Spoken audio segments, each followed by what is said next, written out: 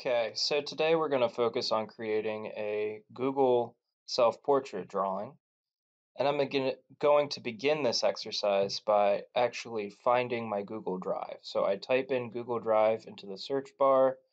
I open the first link on Google, which is my drive. Um, you can see that I'm already signed in. And the next thing I need to do is select New on the left side. Scroll down to More, which is at the bottom. And then the first choice that pops up to the right is Google Drawings. And I'm going to open that up. When it, I uh, select that feature, a new tab opens up, and this is my Google Drawing. And the first thing I need to do is I need to change the title and save it. So I'm going to name it uh, your name, so whatever your name is, and then self-portrait. And after I finish typing, I click outside the box, and that will automatically save it. Next, I'm going to put an image or photograph. So I said select Insert, Image, Photograph. I choose Allow. And now you can see that my webcam appears, and I'm able to take a photograph of myself. So I take a picture, I click the camera icon, and then you can take multiple pictures. And then you can pick the one that you like the most. And you can tell which one it is because it will have the blue border around it and select insert. From here, I need to resize my image so it fits the canvas. The canvas is the checkerboarded area.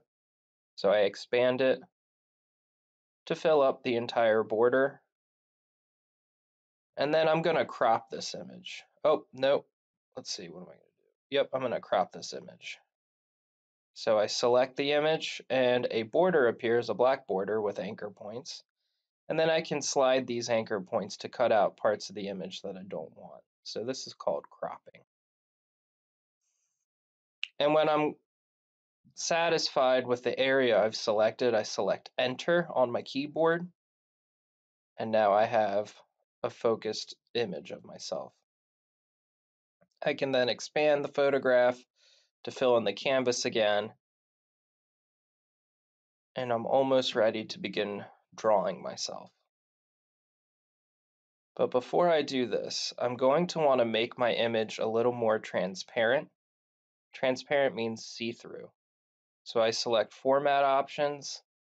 I'm going to scroll down to Adjustments, click on Adjustments, and then I'm going to select the first option, which is transparency. And I'm going to slide that slider in between or between 30% and 50%. That's where I tend to find the sweet spot. Okay, I'm going to X out of that, and now I'm prepared to uh, begin tracing myself. So on the secondary toolbar, I'm going to select the line tool, which is located next to the select tool. And I'm going to go all the way down you can see I select the arrow next to the line tool and choose scribble. I select scribble, and now I'm prepared to begin tracing myself. This tool works um, by clicking down with your mouse, so the left click, and then dragging the mouse. Or, and basically when you drag the mouse, you're tracing uh, the contour or the outline of your self-portrait. Um, this feature works. It does what it's supposed to do, but it's uh, it's kind of hard to control. I find I lack control when I use the scribble tool.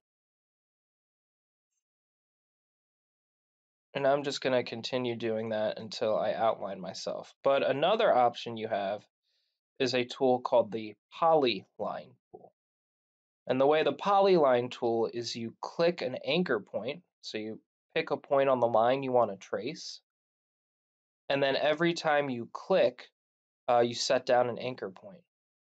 So essentially what you can do is just click along the path that you want to trace um, to get a more accurate uh, line.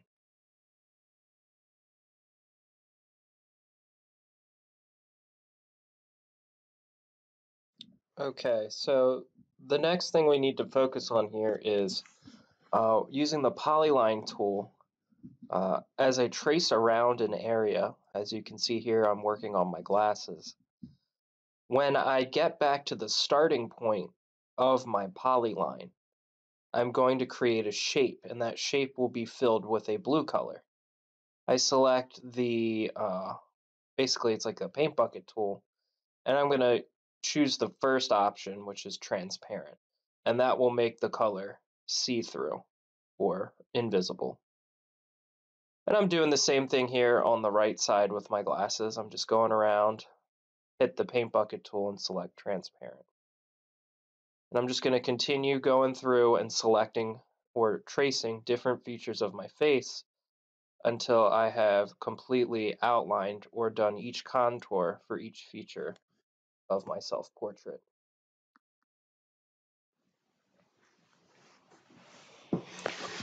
So as I finish tracing each feature of my face, um, and I want, I'm ready to delete my background photograph, I use the select tool, select my background, and then use the backspace key on my keyboard to delete it. Then I'm going to click in the right left hand corner, click and drag so that every line is selected, and I'm going to change the weight, which means the thickness of each line. And I can do that option next to the line color um, and as you can see, I've changed the thickness so my lines are a little more bold and I can see my portrait a little better. And now I'm prepared to um, submit this assignment. So I'm going to go back to Schoology and I'm going to navigate to the art class. So in this case, I'll be my 2B art class. And I'm going to scroll down to um, week number eight lesson. Once I open that up, I'm going to scroll down again and enter the Try It Google Drawing Self-Portrait assignment. Click on that. And then on the right side, you can see some students have already submitted their assignments. However, I'm going to use this video to show you what it'll look like from your end. You select Submit Assignment, go to Resources, and on the left side, go down to Apps. Make sure your Google Drive is highlighted and select the assignment to submit and click Import File. So in case you missed that, I'm going to go through this one more time. You're going to open the assignment, click Submit Assignment. At the top, select Resources, and on the left side, select Apps. Make sure your Google Drive is highlighted and find your assignment, select the white box next to it and click Import, Import File. And that's how you submit an assignment from your Google Drive. Thanks for watching. Created by Bill Ford. Join me over at Mr. Ford's art class on YouTube. Like and subscribe.